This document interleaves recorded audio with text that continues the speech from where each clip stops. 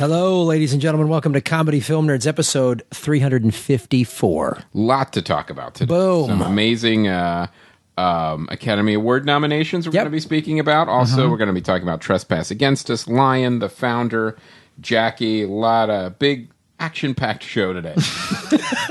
got, got- well, we've got stunts. Oh, all right. We've got stunt sequence. There's a car chase in this yeah, episode. you're going to love it. It's gonna with be- a twist ending. Twist. Oh, or will it?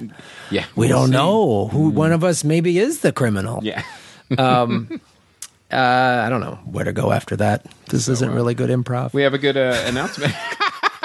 Uh, we have a big uh, LA Podfest announcement Yes. coming on. Uh, February 15th, we're making the big announcement, the dates, everything. Boom, big announcement. so that can already assuage your fears that we're not doing it again. yeah, don't worry, we're doing it again. Yes. It'll be in the fall again. Hint, hint. How was that an announcement? That was like the vaguest. I know. We're announcing that we're going to have an You're gonna announcement. it. We're going to over overhyping the hyping. And a- we're it's a a different. pre- we're, there, there'll be an announcement about a venue change. Where has the Podfest been? The last three years, it was at the Sofitel in Beverly Hills, and then two years prior to that was in Santa and Monica. how many days did it go for? It went three days. It's always Friday, Saturday, Sunday. So it'll be it'll be Friday, Saturday, Sunday. Non-stop podcast. Non. Non-stop. And how many do you guys do during that? See, I'm plugging you. I I'm like plugging. I'm plugging your almost announcement that's going to happen. Will you guys be there every day? Yeah, we're there every day. Um, we well, we do a comedy film nerds live, and then we're usually guests on a couple of shows. And Nice. there's a big stand up on Saturday night. We do the whole stand up show. Um, so Lots of panels. panels. We would love to have you there. Okay, I'll be there. Excellent. I'll give you the dates. When on this- February 15th. and, Yeah. Perfect. Yeah. and like if you're around, because I know you were, you're not doing your podcast anymore. By the way, this is our but- guest Mary Lynn Rajskub. Have we said her name? Hey, No, we haven't Hi, introduced I'm our Mary Lynn guest Rice yet. Cup. Thanks for having me. It's been like a few years. It's been several while, years. yeah, yeah. So it's Weird. great to have you back. Weird, guys. Yeah, I think, uh, I feel like 24 was still on the air. Right. Almost. or people were still bugging you when the next one was going to be on the air. Uh, yeah, but Remember it's that? happening again So- because they're it never really goes away, but Mm-hmm. they're re-airing old episodes and they're launching the new one after the Star Wars. Oh. so now people are like I mean, Excited it's, again, I'm not. yeah. Mm-hmm. Yeah, it's not I'm not complaining, but it's people are like, oh, Now, are you watching season five? Are you in the new series with the new lead? Absolutely not. Okay. But you will get residual checks when they rerun Yeah. the old ones. Hey. No, it's not that great. Oh Yeah. shit. It's a different kind of residual.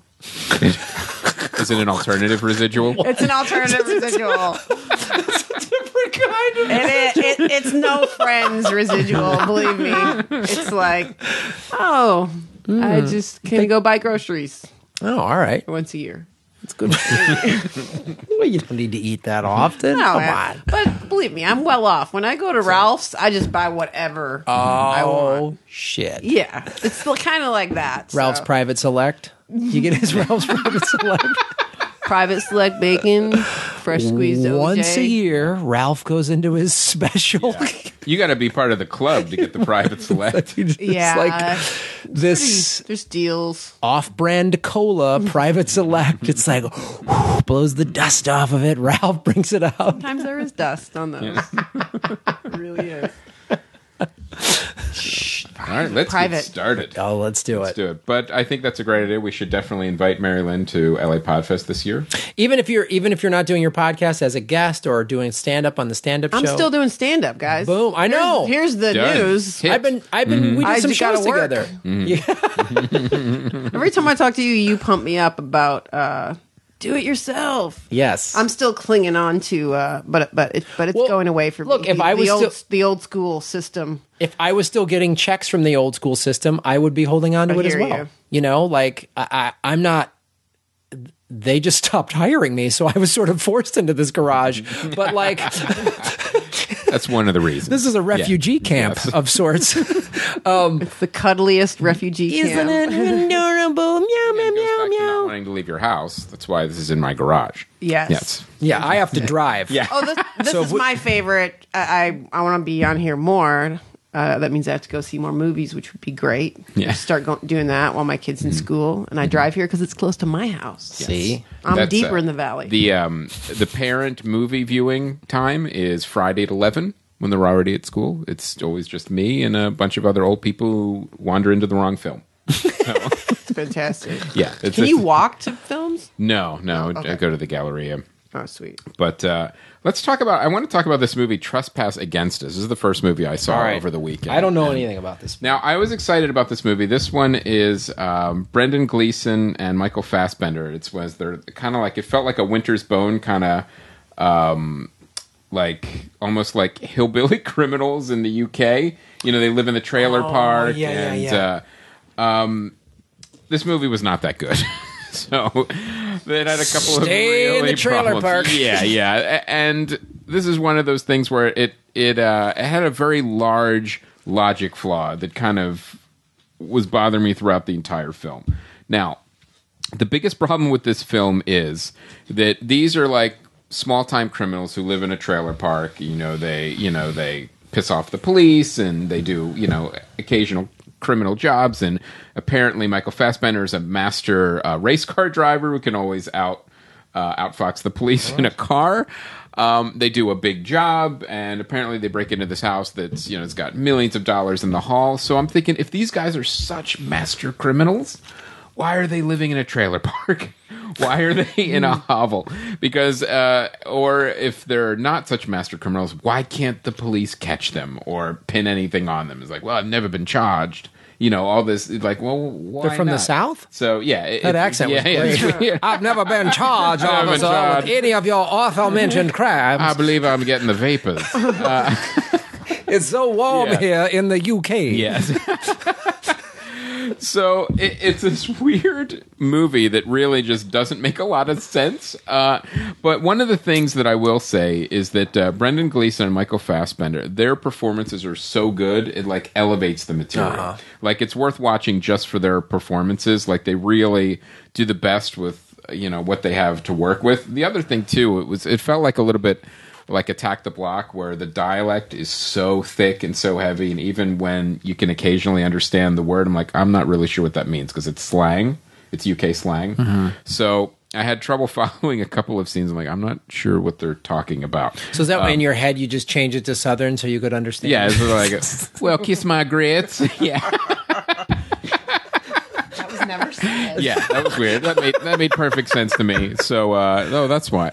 So, but it like has these weird things like, uh, okay, so he's they're master criminals, uh, but they live in a trailer park. But they're kids, yet still they go to school. So they have a school they go to, and they get dropped off to school. And it was, it was all these weird things kind of put together. I'm like, I don't know how much this was thought through. Like if you look at a movie like Winter's Bone, where that whole world was created with Jennifer Lawrence and you know these kind of hillbilly criminals or whatever. But there was never like you know like the that Dukes of Hazzard scene where like the uh, state troopers are are chasing him in the car and just can't catch him. You know, like, but that had this movie had those scenes, so it like it kind of didn't really fit. So- yeah. I'll get So you, there's Duke a, boy. so, so there's an England. The Dukes of Hazzard go to uh, rural England, rural UK So- and speak in an unintelligible dialect and slang. Um, so there was a lot. Of, was those Duke boys, I'd be getting eighty there about now. yeah, and that's kind of what it sounded like. You'll never get me Lucky Charms. Okay. That says a lot to be good in a film that sounds as bad as you're describing. it, yes, You know? yes. So it was. Um, there, there were some definitely the brightest parts were the acting for sure. Okay. like and they, they, you know, Brendan. those two guys are great actors. They're so good, and together, like as a father and son. By the way, they also played a father and son in Assassin's Creed that no one saw. Wow. So it's you know Weird. Adam Smith's first feature film. Uh, I believe he was a TV director, and Alastair Sid- Siddons' Siddons' first screenplay. So you know I'd be anxious to see um, what their next project would be together. But this one was kind of like a swing and a miss. But isn't this sort of been the theme? And we'll get into some other movies, Yes. obviously, that are, you know, the Oscar nominations came out today. But like, hasn't that sort of been the theme of this year? Is like, there hasn't been that many super solid movies. There's been good performances. Yeah, it's weird. It's like a lot of these movies is like well, you can find a couple really good, solid things in them, but overall, they're not great films. So we've definitely been seeing a lot. It's a kind of a weak Oscar year this year Yeah. for sure, um, except in the animation department. That's so racist of you to say. I heard about Trespass Against Us. I heard that Dev Patel was really hot. You heard so correct. sexist of me. He to did, say. yeah, I know. Wow. I heard his package looks great. Wow. You guys had your march, and now you're just going out and sexualizing. That's what we do now. Yeah. We talk about penis bulges in pants. Ugh, that felt like shitty coming out of my mouth. Yeah, it was. It was, it was I don't, I, don't care for I that had, at all. I had more problems with the acts, the voice you were, the character that did the. I, that was the my normal was out of voice. my That's my normal voice. So, could you please step off? Equality. Well, you want some sweet Now. tea? Oh God! Oh, we're are we back in Scotland? We're back. We're back in Scotland. Where? By the way, it says it's an Irish American film. Yes. All right. Trying to participate, guys. Thank Yeah. you. Well, let's. You're welcome. So let's talk about you. You saw the movie Jackie, which. Uh, trying to include me. yeah, yes, yes, that's why you're here, Mary Lynn. So We nice. don't. Um, this movie, when I first started watching it, I, within the first minute or 2 mm-hmm. I thought this is going to be my favorite movie. Really? I loved it. I thought it looked different, mm-hmm.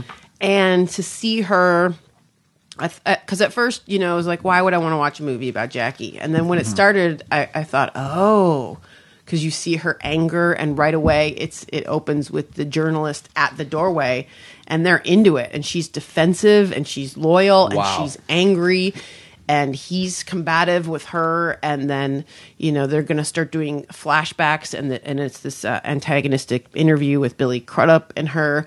And I thought now you're talking. And the you know music's kind of odd and creepy uh, uh, um, exemplifying her that you know the heart wrenching Right. it's got, got these weird off uh, um, tone string section type music Now that you love it all the way through, no, and then uh within the first I was really with it for like probably 15 20 minutes and then I realized that I was being slowly assassinated.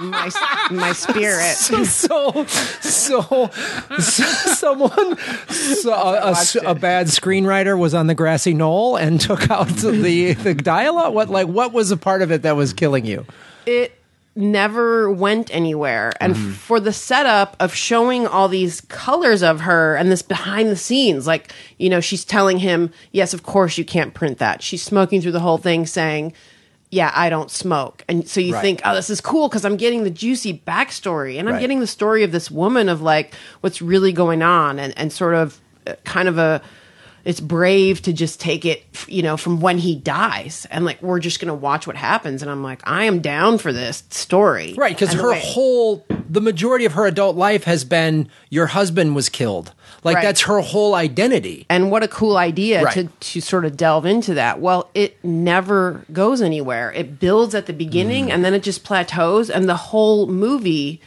is just her deciding to have this elaborate procession for him and then they advise her not to.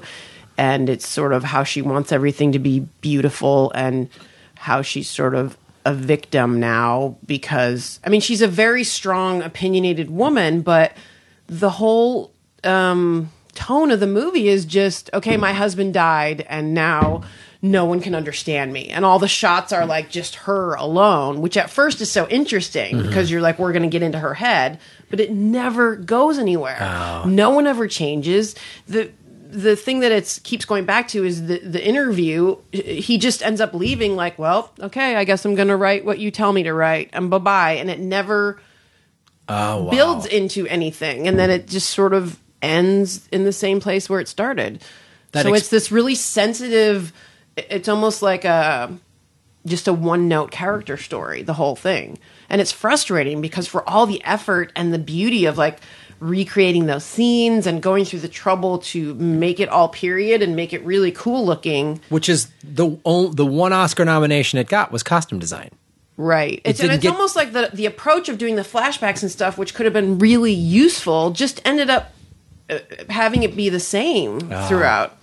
It was very bizarre because is I it- kept waiting for it to take off. and you then- wanted and her performance was good but her character so it was her performance is great, but after a while, she's just in the same space. and yes, it's an emotional, conflicted, angry. It's an awesome space, but you, but it's you- one note. It's one note. Oh yeah. so this is a script It's weird. I mean, her performance is not one note, but it's Mm-hmm. but she, the movie is. within yeah the movie is Right. Okay. Wow. Because she's up for uh, best actress. Yeah. Natalie Portman. Yeah. Mm-hmm. I mean, she does a great job. It's just frustrating hmm, 'cause how you- did the Meryl story Streep get never there? goes anywhere. Yeah. That's weird.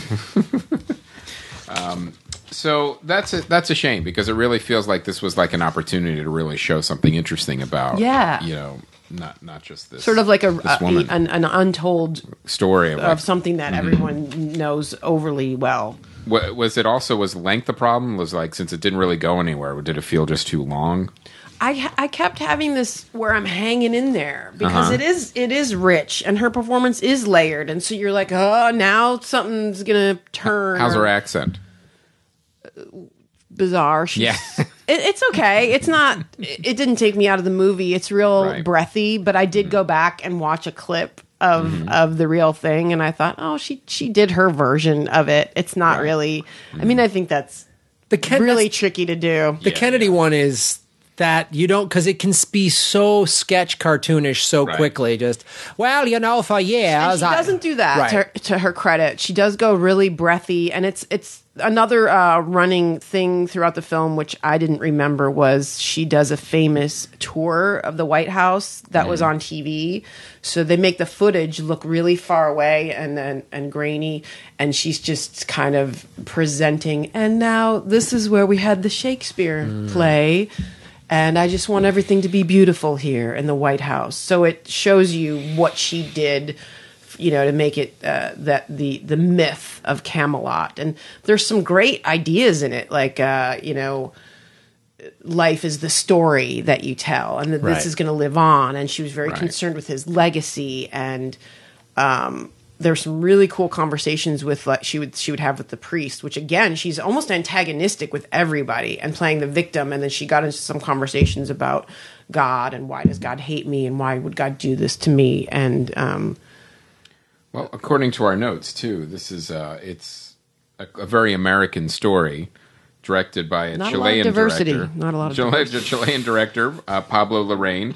Uh, it's his first American film, although still shot mostly in Paris, oh and uh, originally set to star Rachel Weisz and directed by Darren Aronofsky. And I'll say, So oh yeah, sure yes, that's right. there. And the one other thing that was frustrating about it is that it was so in her point of view, which I love Right. that idea. Mm-hmm. But then by the end, I was longing for some more Somebody else. politics and and some Right. more. Here's what the world thinks because it was mm-hmm. so much from her point of view that it sort of exhausted that. So you could have used some like here's her talking to LBJ or Bobby Kennedy yeah, or whatever everybody the else was outside of her, and you ah. never got what was really going on with LBJ. You mm. just they were from her point of view. Oh, they're taking over now, you know, and Right. she would see them picking out the new colors for you know of the furniture and stuff. wow. Yeah, well, it's that's a- frustrating. yeah, I guess that's why. So it got um, I, I was, so it's two nominations. She got best, best actress nomination and costume design, which sounds like those were the two highlights of the movie. Yeah, Yeah. yeah. All right, Now let's let's, talk. talk about a movie that you really. Um, Well, let's talk about. oh, go ahead. All right. Well, what do you want? to I was going to do. You want to do the founder? We can do the founder word line. Let's do founder since we both saw that. Absolutely. Okay. The Founder was a movie I really wanted to see. Um, I had actually read Fast Food Nation, which delved a little bit into the story between the McDonald's brothers and uh, Ray, Ray Kroc, Kroc, who um, uh, Roy Kroc, Ray, Roy Kroc, Ray, Mr. Kroc. Yeah. Ray Kroc. It's Ray yeah, Kroc. yeah, Ray Kroc. And uh, um, I really wanted to see what Michael Keaton was going to bring to it. I, I was curious to see, like, um, especially there's some very funny people in this movie, and to see if there would be like kind of like a Nick Offerman. uh, yeah, a- and you know, kind of a sense of humor to this film. There is not a sense of humor to this film at all. It is played completely straight. Uh, there's no irony to it. There's literally it's it, what you're doing is you're watching a movie that feels like cliff notes of a book. Is pretty much what what you feel like you're watching. And here's why um, Michael Keaton basically plays uh, a con artist. You know, he's a low level con artist. He's trying to sell stuff. He's a salesman. So- he's a salesman, uh, but he's a sales. He starts as sales, but really, All at his heart, he's a con Yes. artist. Is what you're saying. is uh, a- a- and what you're watching in this film is his slow rise to success at the expense of pretty much everyone else. And when you have a movie like that, And I was thinking about, I'm like, why why isn't this movie resonating? Why isn't there something about this movie that's just off that makes me not interested in watching this? And the reason is to when you have a movie that has one destination to get to a predestined point. We know what happens. We know it's going to get there. So you can't have an interesting movie when it's a slow deterioration to a pre- predetermined point. So all you're doing is watching uh, Michael Keaton's character slowly fleece these guys until he becomes successful. And then that's pretty much the I story. you were going to say because you didn't like him. Yeah, As well, part of it. Well, that well, the, well, what happens is he's set up a little bit as like, oh, he's a guy who's down on his luck. He's a salesman, but you know, as the movie progresses, he pretty much turns into almost like a sociopath as he uh, robs these guys of their business, and you know, his marriage deteriorates. And by the way, Laura Dern has literally nothing to do except for make disapproving faces at her husband. Nice. There's literally that's all she has to take do. Yeah. So, That's why I got divorced. Yeah, so I was thinking about this movie, and I was like, where where did it go wrong, and what? And I realized it focused on the wrong story. The The real story is the McDonald's brothers and what they built and how they slowly lost everything to a uh, a, a charlatan and a, and a con artist because it sets up this really dopey contrivance at the beginning when Ray Kroc meets them and he's like, "I got to take you to dinner." I want to know your story. And like, oh, okay. So, and then that's when they start telling the story at dinner and we do flashbacks and stuff. But I'm looking at this story and this is far more interesting than watching a guy steal a business for two hours. Because they do stuff like they, you know, they start a stand, it's successful, and then they have to move it, and it won't fit under an underpass, so they're sawing it in half and moving it that way. It's so interesting to see their rise and fall and mm-hmm. ultimately fall. I'm like, that's the story that would have been far a far more interesting and compelling film. And you have Ray Kroc is essentially the villain that ultimately wins at the end. So you have this up and down roller coaster to see their successes and failure, other than just a slow, steady decline. I- well, that's interesting. I think I liked it a little more than you did. I wasn't like blown away by it. Um, it it is very a little bit by the numbers historical movie. John Lee Hancock is the director. He did Saving uh, Mr. Banks, The Blind Side, The Alamo, The Rookie. So he's literally done almost all, you know, true stories. Um, I guess to me, uh, I liked it a little more, maybe just because I like this sort of Michael Keaton resurgence. Um, you know, Spotlight, Birdman. Um, so And those movies, he had a lot more to do, and a lot more interesting things to do with the character. yeah, I think He's really mad at you right now. you guys are fighting. Michael. Keaton. Michael Keaton's mad. No, you're. Oh, I mean, at Graham. yeah. And Michael Keaton. This is how we fight. Yeah. Also mad at you. Michael Keaton's mad at you. Michael Keaton's very mad at Chris. Um, I don't know. I guess I just like watching these uh, two weaklings uh, lose a fight. No, I, I guess it was sort of interesting. Like I, I agree when they did tell that story, and that was a really interesting part of the movie because they showed actual black and white. Sh- like uh, photos Right. of the of the actual original McDonald's in San Bernardino, and, and how they figured out the assembly line way of doing fast food. It was all amazing. it was all really cool. But um, it was interesting. I, I felt like Michael Keaton had a little bit more of an arc in the sense that he did start out as this guy who's trying to sell milkshakes machines, and he's like, oh, So you didn't mind it being about him and that story. no, I, I, didn't- I, I didn't. I think I think it was that was interesting enough to me just because um, I knew a little bit about Ray Kroc. Um, I heard you know the famous speech he gave. Um, I can't remember what it was like the Harvard Business School or something. And it was all these young business kids, and he was like, "What business am I in?" They're all like, "Oh, hamburgers, food," and blah. And he goes, "No, real estate." And so I knew that was sort of his story of how Right. he built that empire. Was he bought the real estate of- Under. under the franchises. And I was like, oh. And so seeing how he got to that place and um, how the, the McDonald's brothers kind of, he was like, he asked for a raise and a better deal. And they're like, nope, nope, nope. And they're too, they won't let go of their baby in, in essence and how he had to get past that and the flaws of kind of who he was. Um, so I found it a little more interesting, uh, and maybe I just I just really like Michael Keaton. You don't think that all salesmen are charlatans like Chris? Uh, well, Chris hates America. He hates Right. capitalism. Right. um, He's he's got to better get with the program. yeah, he's a socialist. Things are different now. We're cap. Me and you are capitalists, Yeah, right? you got that right, brother. You're recording this, right? Uh, make All podcast right. great again. I'll move to Canada. You can go up there with the rest of your goddamn Yeah. free healthcare hippie buddies. Um, no, I just thought it was interesting in that sort of old style of business of just like beat the competitor, you know, like Yeah. cocktails and and crush them, you know, just so yeah. Robert Siegel, screenwriter for the Onion movie and The Wrestler, wrote this movie. Yeah. I don't know. I think it's I think it's okay, but it was not funny. at all. Yeah, no, it was. not funny. and it it was uh, what I would have liked to have seen. And I was looking at the notes too. The Coen brothers wanted to direct it, but Mm. were tied up with Hail Caesar. I would have loved to have seen the Coen brothers direct this film. I agree. I think they could have done a far better job. This Mm-hmm. th- um, this guy did some interesting stuff, and I think it's mainly it's to me. If you do enjoy this movie, it's the strength of Keaton is what you're going to enjoy, I guess. But you know, it's it's not surprising to me too that this movie really didn't get any nominations at all no, it, it wasn't on any level. It was just another sort of film that that now I, I that drop that did just again like you see the trailer for this and you go oh oscar here we go like keaton it's true story go, you know american icon go Now, I- and yeah yeah. I and then it did, it, did, it didn't hit yeah. those things at all Now I will ask you this though. Um, I know you're a vegetarian, but at the beginning when uh, what does that have to do with Yeah, anything yeah, chris? yeah. enough. When Ray Kroc was like visiting McDonald's for the first time, you saw the energy and like the newness of just like this big fast food restaurant. And everybody didn't it kind of want you make you eat a cheeseburger? it made me want to go to veggie grill. Yeah, this fast food vegetarian place that has popped up and something the they're Veggie fucking great. Deep and it, fried, was uh, baked chicken. so good uh, yeah. Like at the beginning, I was like, I just I kind of want a cheeseburger, and then towards the end of the movie, I'm like, I don't want to ever go to a McDonald's now.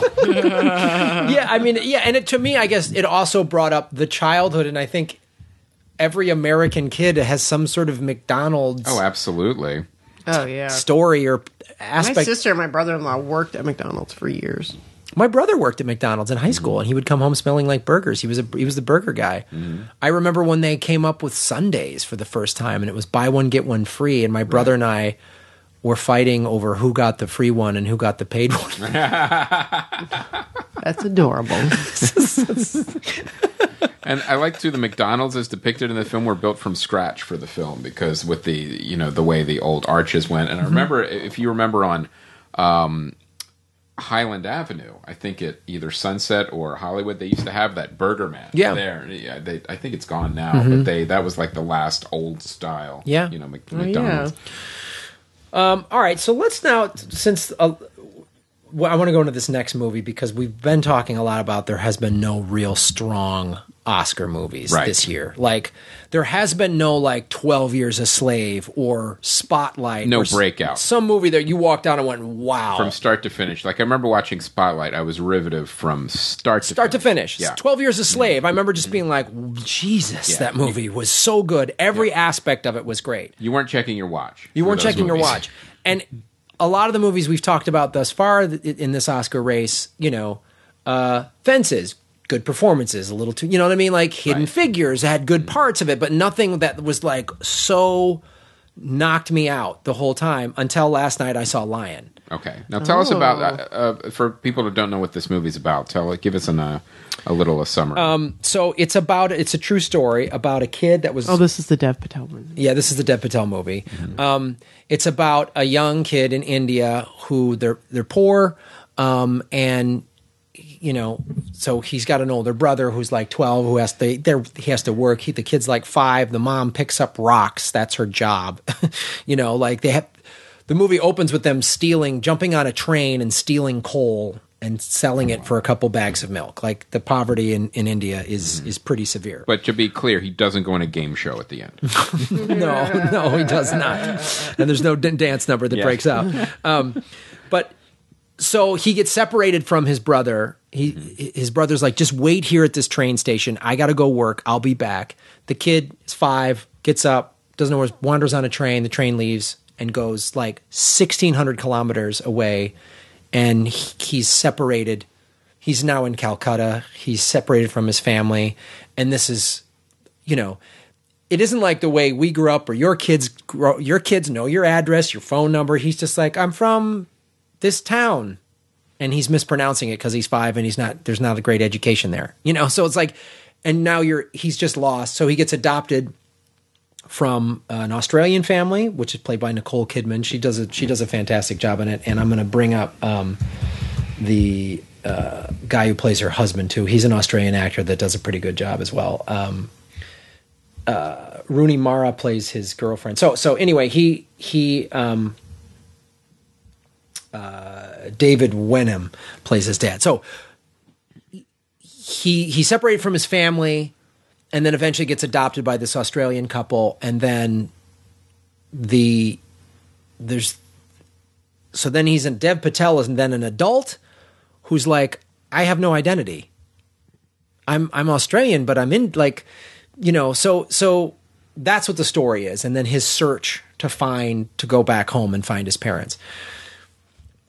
I cried throughout most of this movie. This Wow. movie is stunning, and the on, there's like this is me totally nit nit nitpicking because I've watched way too many movies. It's a little slow in the second act. Mm-hmm. That's it, but then it fucking picks right back up. The first act is is a very graphic depiction of what life in India is like. I'll give you just a little quick India. So in America, poverty is if you make whatever the number is, thir- 14, 15 grand a year, if you make less than that. So if you have a job and you make less than that, that's the poverty line. In India, it's you don't have um, food, uh, drinkable water. that's the poverty line in India. And, nowhere to live. And nowhere to live. 300 million people live that way. That's the population of the United States of America. So you see this, they shot this. It, it's like, I mean, they must have shot this in Calcutta because it's like, it's, it's hard to watch. And 80,000 kids go missing every year in India Wow, really?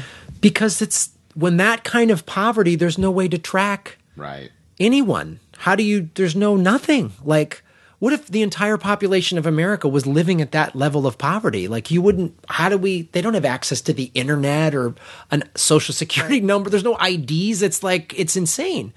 So, um, and I'm sorry, this little kid who plays young, who plays Dave D- Patel's as a boy, he should have got an Oscar nomination. He's as good as like the kid in Room, the kid from Beasts of No Nation. Like he's It says 4,000 boys auditioned to play young Wow. Saroo. it was unbelievable. And this is a first time director, Garth uh, Davis. It's his first feature film. So Wow. And I got to say, it should get This one was a home run. it's the best picture. I'm looking at the list: Arrival, Fences, Hacksaw Ridge, Hell or High Water, Hidden Figures, La La Land, Lion, Manchester by the Sea, Moonlight. It's Lion. I'm telling you right now, it's Lion.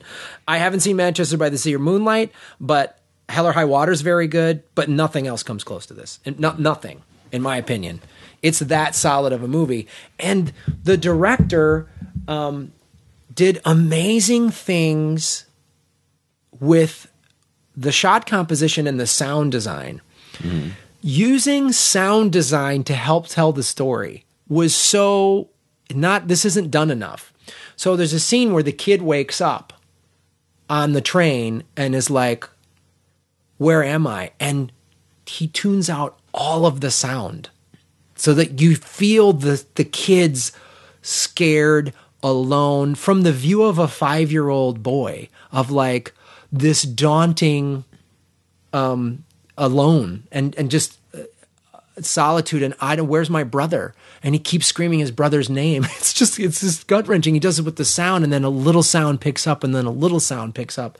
And then he's in Calcutta and then the mass sound of this giant city with this crazy train like and these little things happen all the time. Then when Dev Patel is like um is so he grows up Nicole Kidman and they raise him in Tasmania, which is an island in Australia. Her and Keith Urban reason. Uh, You were so in like you're so into the movie that you're like, what? What? Oh, wait. Yeah. Oh, you were making a joke. Okay. oh, I'm really into this, and you're doing a bit. Okay, okay, okay. Let me shift gears real quick. Um, yes, and um, so they're in Tasmania. So then he gets this. Goes to oh, I'm going to school up in Melbourne. So he goes up to Melbourne, and that's where he's like, they're all hits re, where he meets Rooney Mara, and um, they hang out with kids from class and there's some kids who are grew up in India and they're like, "Where are you from in India?" He's like, "I I, I don't know." And they're just like, and so like these memories get triggered, and he keeps. Does he have an Australian accent? Yeah, and he worked really hard on it. Um, he's he prepared for eight months to to Nice. get this Australian accent, and just he's he's an Aussie, so he sounds like an Aussie, and it's like, um, it was a really it was a really fantastic story. Um, and like I've known some people, like I, I had a friend living in Australia, and she was adopted from Korea, and she went back to Korea to find her family, and like I know some people that were adopted under those circumstances, and what it meant to them, and how it how conflicted they were. Um, and it's just it's just a fantastic, and it's a true story. I mean, and there's just like, you know, and it's it's gut wrenching and also beautiful in the same thing, and and all the supporting cast are great. You know, um, You know, the last three movies we talked about were true stories. I know that's Oscar bait. It's real big mm-hmm. Oscar bait, Yep. but this one is. I mean, it happened in you know, 1986 is when he was five year old, but he, he starts searching for his parents in like 2008, 2009. So it's it's not a period piece really, um, but it was really it's it's Oh, I can't wait to see it. it's now. fantastic. It's the best movie that I've. kind of nervous to see it. I It's- might be, I'm going to be real upset. You're gonna cry a lot unless you're Well, dead inside. I Um, cried uh, throughout Hidden Figures. yeah. What did you think of that movie?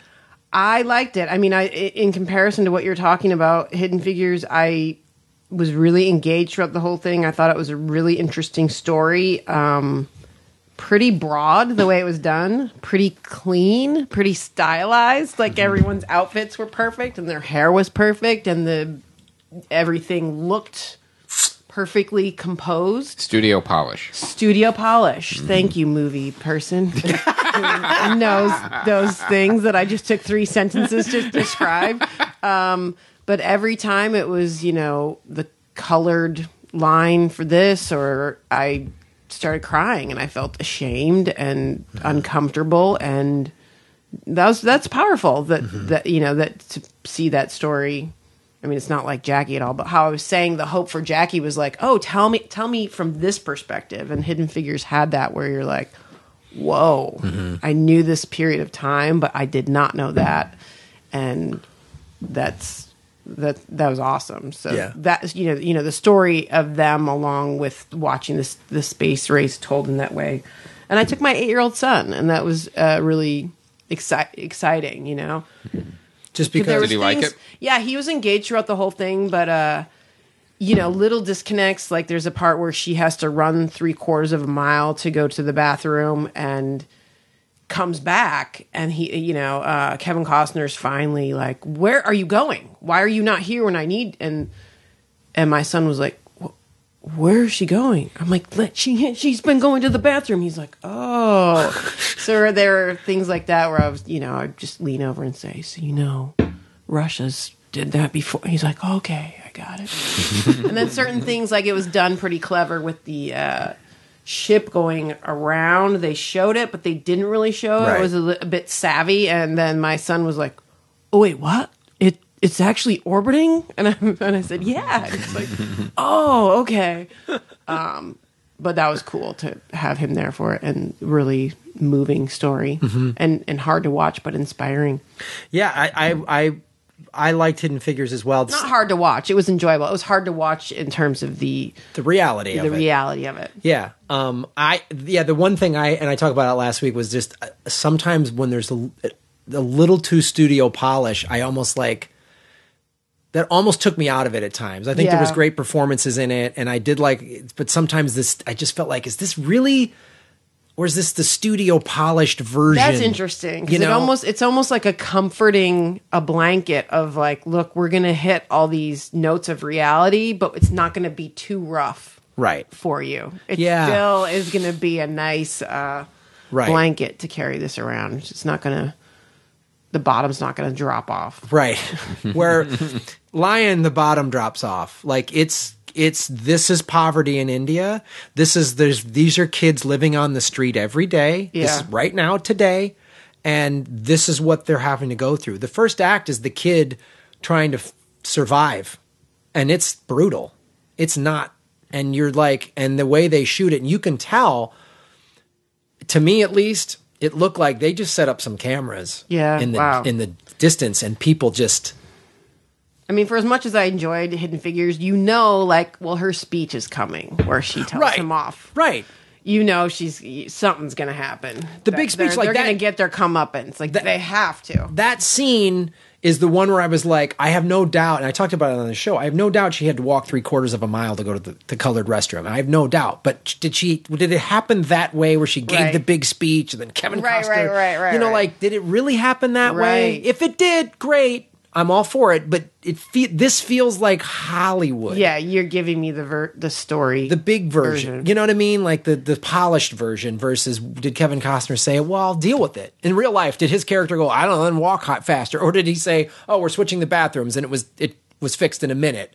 Versus the big speech. I mean, that's one thing I did like about Moonlight. I, I know you guys Mm-hmm. talked about that before, but uh, just uh, I had a, a friend of mine. She's really into me. Mm. What did she say about La La? I, she she she said that Moonlight, yeah, it was pretty slow. And it's that, that's such a discounting of how gorgeous it is. It's like slow. You mean because it paid attention to the subtlety of the human heart? that's slow to you? I call that pretty beautiful and pretty groundbreaking. Um, speed it up, sensitive Susie. Yeah. Come on. I got places to be. Um, I got business that need to buy other businesses. that's right. I got to crush my that was cool to, that it took its time in that sense, uh, which maybe you know was ultimately not a good thing about it. But there, but there were so many um, moments in that that you were like, "Ooh, this hurts." Like he's just sitting there in this. So I know you haven't seen Lion, but of this Best Picture list thus far, of the ones you have You're, seen, you're selling me on Lion. I think I'm I'm going to have a hard time watching it, but it sounds like it's got all the. yeah. But I'm just saying, like of the ones you have seen, what do you what would you Oh, think thus um, far? I mean, I don't know. I really liked Hidden Figures. I enjoyed it. Is it Best Picture? Probably not. I Uh, guess Hollywood's over being mad at Mel Gibson. Oh He's back. Uh, Arrival, I really dug. I don't know if it's Best Picture, but I, Arrival, I thought was really uh, intelligent and it it wasn't insulting, and that the use of suspense and the use of the aliens, it wasn't. Um, Yeah. It, it, was- I, it was really well done. It, it was engaging. Uh, it was a bit more cerebral. Yeah, I yeah, I'm really perplexed that Mel Gibson is on this list. I saw Hacksaw Ridge; it's decent. He did a lot with a low He's budget. the best director too.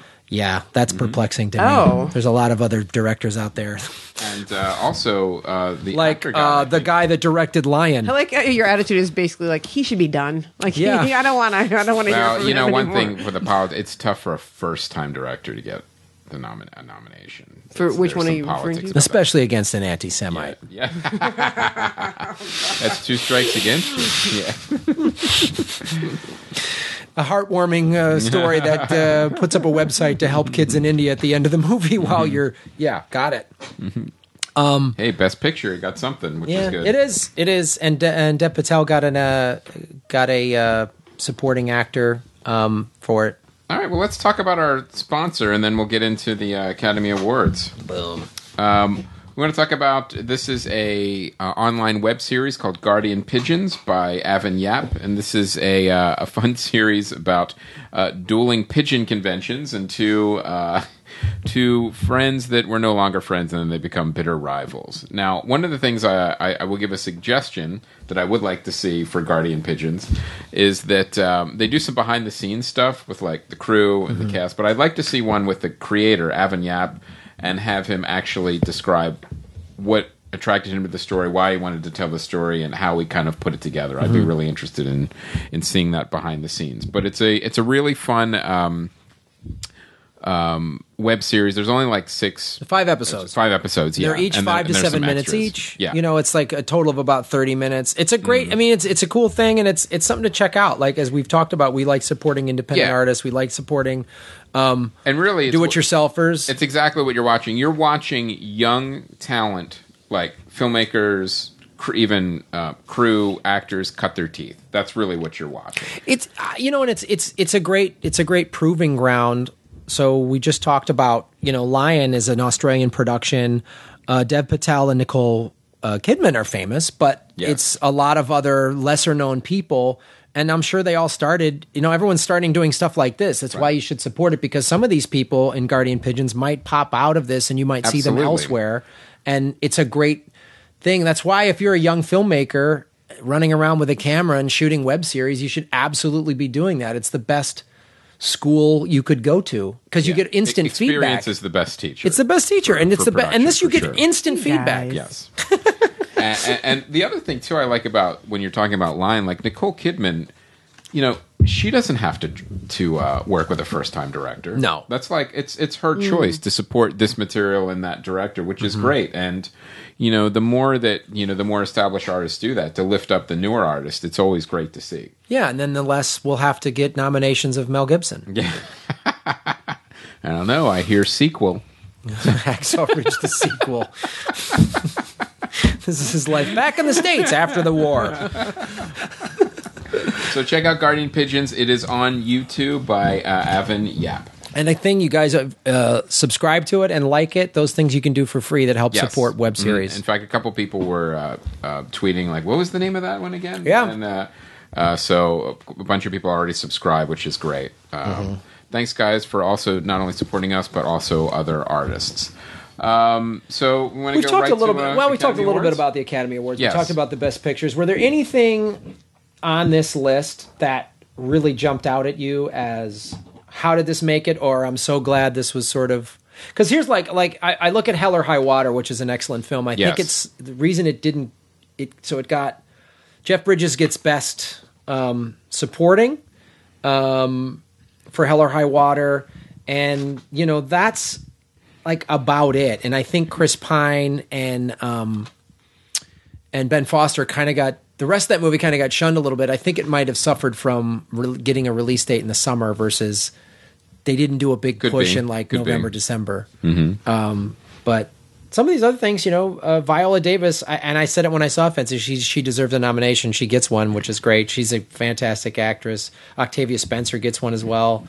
Um, I will say Arrival surprised me a little bit on Best Picture. I mean, I know you guys liked the movie more than I did, but I didn't hate it. Right. Um, even like what uh, Mary Lynn had said, you know, I liked it, but I don't know if it's Best Picture. It, it just feels like uh, it was, when you look at everything in general, it feels like it was a little weaker of an Oscar year this year, just overall. overall, I think there Yeah. isn't there isn't like four or five movies like movies. standouts, like, oh, I don't know how any of these Right. could beat this other one.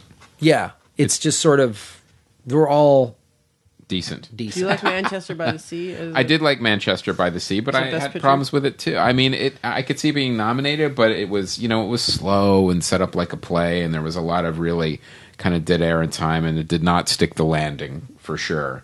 What did you think of it? I didn't see it. Oh, But do you um, want to know? I will. That's one of those ones as parents, uh, you have a certain amount of time at night, and I'm s- trying to get my husband. I'm like, he's like, oh.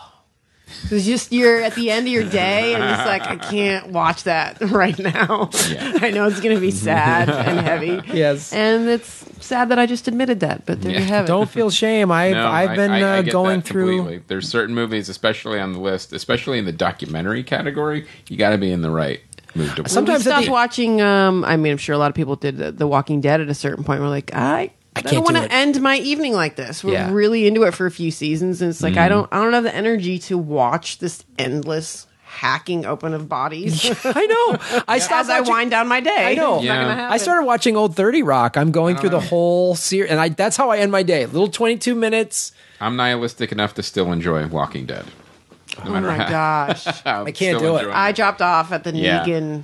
Uh, Because I was just still- like, I'm what's still on board. I dropped off at like season three. I'm like, every episode, oh my God, let's just make it out. No, the world's over. Just, just you know, just hang yourself. It's done. like, So now, if you look at actor in a leading role, Casey Affleck, I thought did a really good job. I haven't seen Hacksaw, Hacksaw Ridge yet. Andrew Garfield does a decent job, but Uh-huh. I, I, I he he doesn't he does a decent job. I just there's a there's other act. I mean, like honestly, I would put the kid- the kid from Lion in his spot Right. Mm-hmm. as what I would do because the kid is powerful. He's a powerful young actor, and No. so Well, I mean, also too, you got like Ryan Gosling. It was a good performance, but it was a lighter performance than some of these. But other that, ones. yeah, th- I don't know that.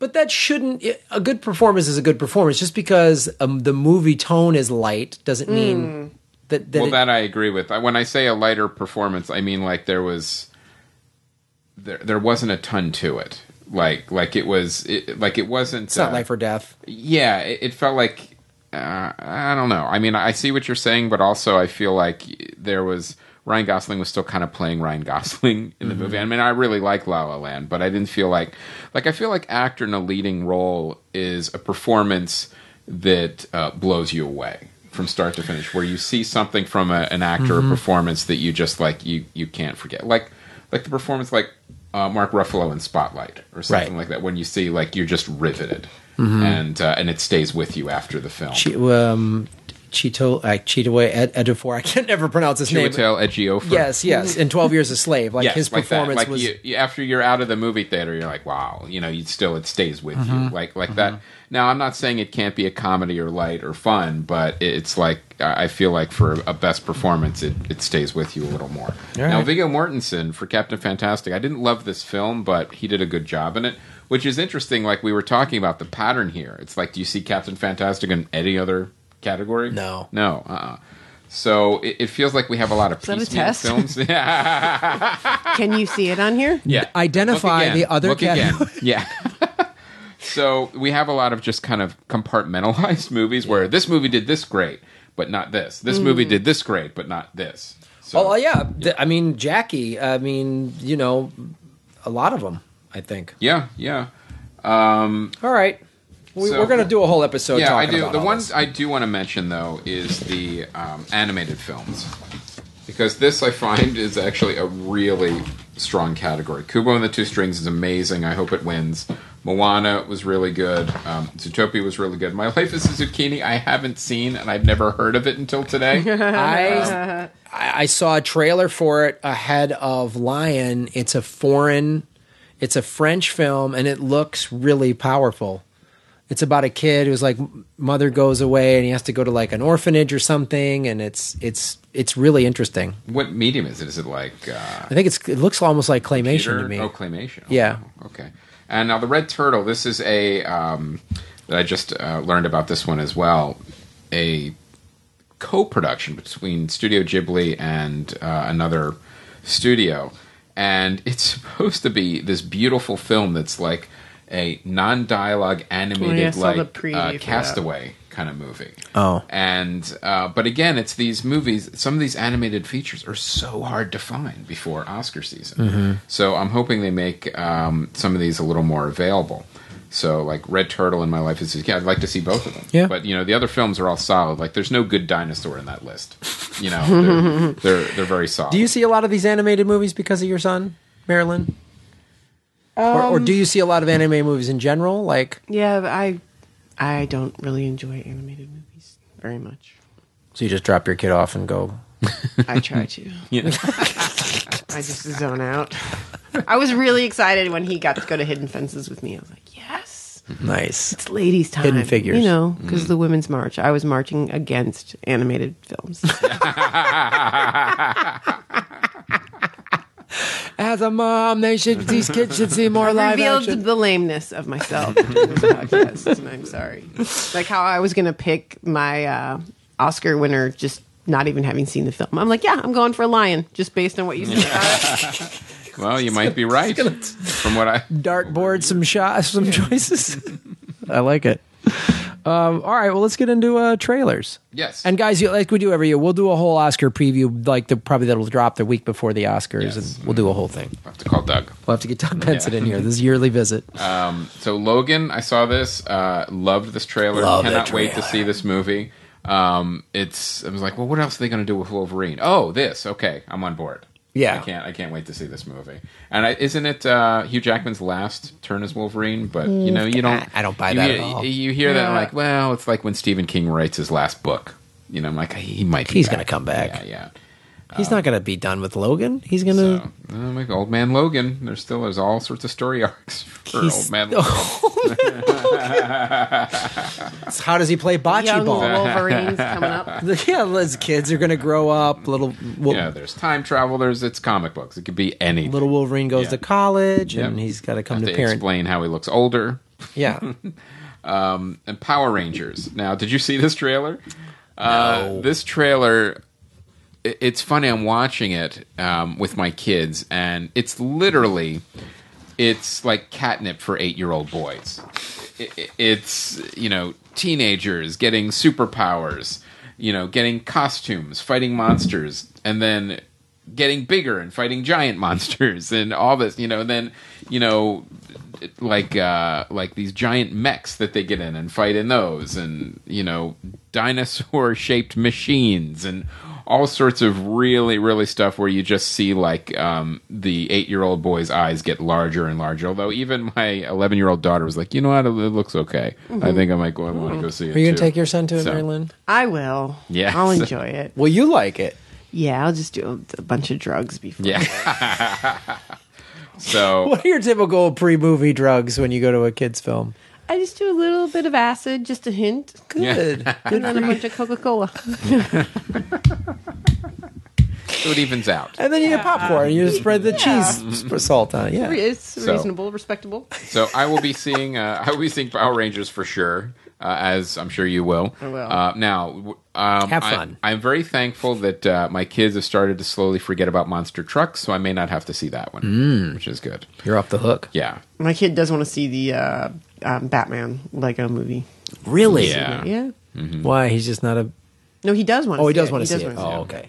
That looks fun. I mean Batman and Legos. Yeah. I'm going to know, see that. again. It's like it's any small boy. I'm like yes, you know, just I don't just tell me, just say Lego and Batman together. They're there. You're sold. It. Yeah. Make a poster. Yep. You have a movie.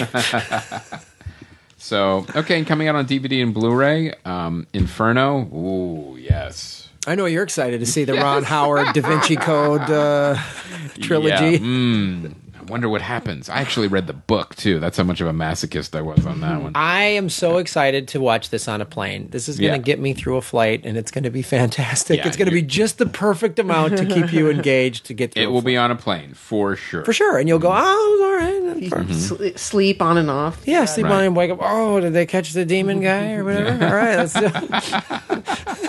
they find the old scrolls. They figured it out. All right.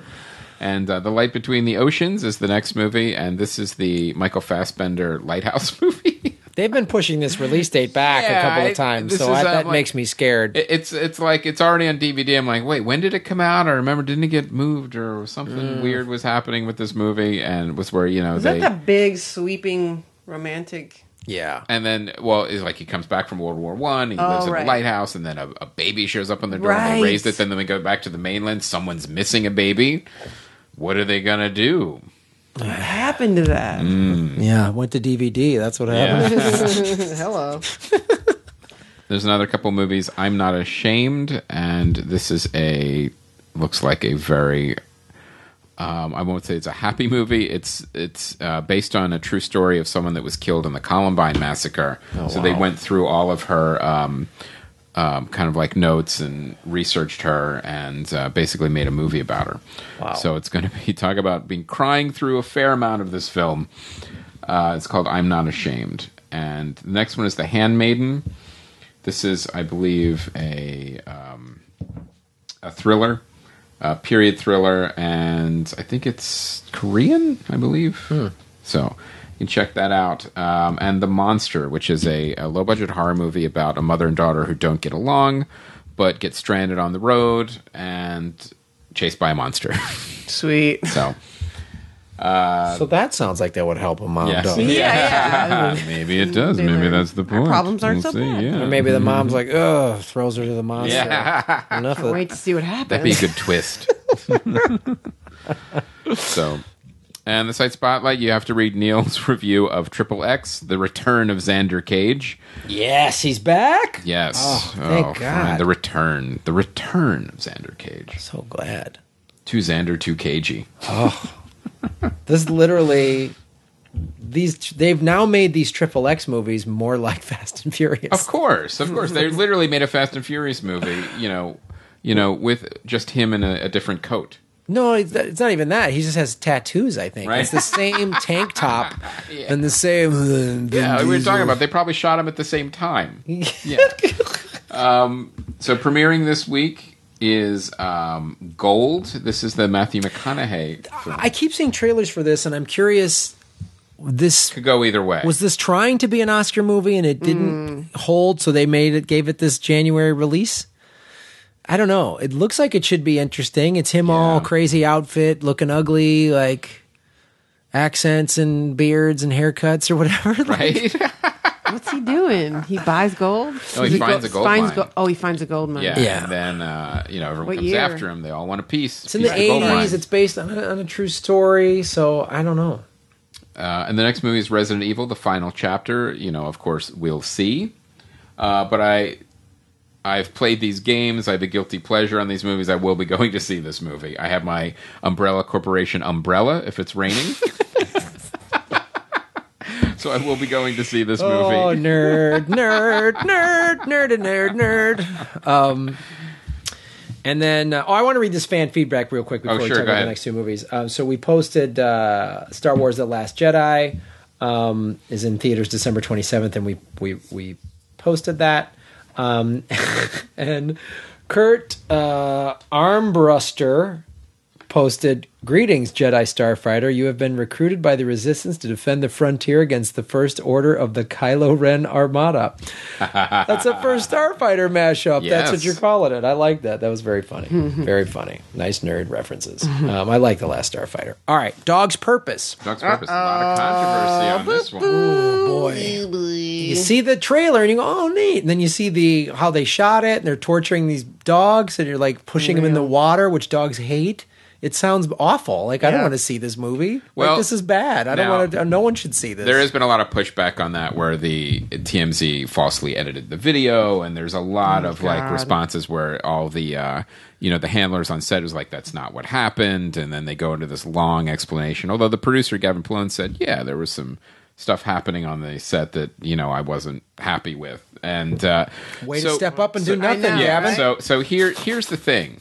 Here's the we're never going to know exactly what happened. You've got a tape that was possibly doctored.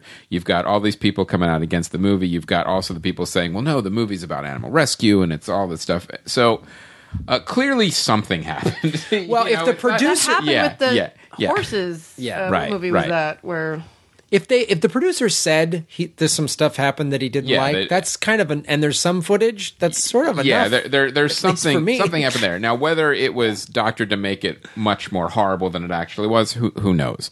Uh, but it's also the kind of thing too but where all of it is true. yeah, yeah. It, it was doctored, and there were some. It can be- shitty- it doesn't have to be either ex- or. Exactly. It Yeah, it was, uh, most likely it was both. Uh, so and like kind truth of abusing a dog doesn't make it okay. right. Exactly. Exactly. it, it's uh, The videos made it worse, but we just kind of did it. Oh, Yeah. Oh, then all and, right. And you know, there, there's uh, there's all this walk back and and like rationalization of like we picked this dog because it loved water and it didn't like where it was jumping in, and that's when we moved it back. That's really what you're saying. And I'm like, oh my god. And but here here's the thing. Hollywood has been using animals for many, many years, and there's all these safeguards in place. There's supposed to be, uh, you know, someone viewing this all the time. For this to happen, you know, this someone really fucking dropped the ball. For this to even, th- this never should happen with all the safeguards in place on set. Never should have happened, even if it was uh, not as bad as the video portrayed. Right. But and also, clearly something was happening because the studio pulled the movie for like a week. Yeah. Too. So there was there was you know where there's smoke there's fire. Something happened for sure. Now the movie is out this week. I don't expect big things from the box office from Nope. it. Um, so and IMDb people are weighing into all over the movie, like give it a chance, don't believe Pete, and then they're saying my uh, the video was horrifying. I can't support this movie. It's like all over the place to the point where apparently IMDb was also starting to pull reviews that weren't reviewing the movie; they were just talking about how horrible the video was. So, um, judge for yourself. So Or don't go. uh, or yeah, vote with your dollars. Yeah. it's very easy to not go to this movie. All right. Last movie, Kung Fu Yoga. Kung Fu Yoga. I'm this in. Is the, Two uh, things I like and Jackie Chan. to Kung Fu and yoga. yeah. If you watch the trailer for this film, it literally you have no idea what's going on in this movie. It's like it's Really? it's kung fu. It's also um, there's they go to India, so that's where the yoga comes from. But also they do this weird thing where they're it's subtitled, but a lot of it is in English, but their accents are so bad you feel well they don't know English. They're just being forced to say the words, even though they don't understand what it is, what they're saying. And then some of it isn't in English, but that they fit. I, I guess the subtitlers. You know what? Just put it through the whole thing, even I'm if in. a lot of it's in English. Forget dog's purpose. So, it's all about kung fu. It's all about kung fu yoga. We're Yeah. in. Yeah, no yoga was harmed in the making. Oh, okay, of good. That movie. was all real downward Yeah. dogs. Yeah, they weren't. Ah, uh, you see it? I tied it in, guys. I took both the things we were talking about. Um, well, that's our show, ladies and gentlemen. no yoga was. Thanks thrown for having me. I missed you guys. Um, Yeah, thanks we're for so coming great back. to see you. Where can people find you? Where on the internet shows you're doing? What do you got going on? Uh, I'm going to be doing it at midnight soon, and I did that the comedy jam. Have you heard about that? No. It's um, comedians telling stories and then singing a rock song. It's going to be crazy. It's on Nice. Comedy Central, yeah. I Sweet. sang "Creep" by Radiohead. Spoiler. Awesome. Super fun, and there's some people doing some cra- and some crazy guests. But that's a new show. Oh, that's awesome. And then locally in Los Angeles, there'll be your your, your comedy club near you. And the Los Angeles Podcast Festival Yes, later in the year. you guys. Yes. Hopefully at eleven or twelve that night. yes. when you like to. I want to do as many podcasts Yeah. as I can in a row. Where can people find you online? Can they talk to Oh, you on the oh, internet? at uh, Mary Lynn Rajskub on Twitter. nice. Right? Yeah. Let's talk about everything. Let's do it. Follow her, guys. What do you We're- got coming up? What uh, other uh, any other shows or anything coming up? Uh, I had a show on Amazon that did, that they kept us waiting for a year for the pickup, picked up for five, and then they told us we're not going to do it. Oh, That's fun. Yeah, so mm-hmm. that's happening. That's cool. So I'm available. Okay? I'm available. All right, guys. Well, that's our show. Um, Can I give you guys a couple headshots? yeah, that's cool. we're we're hiring. yes. Your eyebrows. yep. There's room in the garage for one more. yeah, we're gonna build you a fort out of shirts. Um, Uh, guys, the Earbuds documentary, the DVD is done. It's for sale. Autographed Yes. copies from Chris and myself. There's a whole spot in there to get autographs from other people. And so go buy to them for gifts. Buy them for yourself. yes, comedyfilmnerds.com and of course, it's available digitally as well. as well. Um, so that's our show. Thank you, Mary Lynn Rajskub. Thank you. I'm Graham Elwood. And I'm Chris Mancini. And as always, remember Han shot first.